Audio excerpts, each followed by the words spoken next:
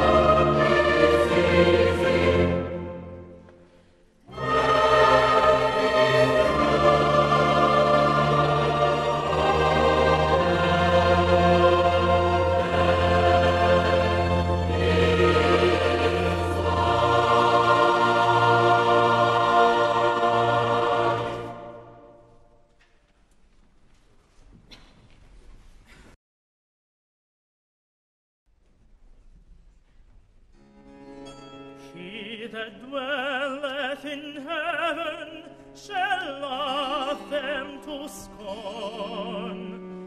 The Lord shall have them in derision.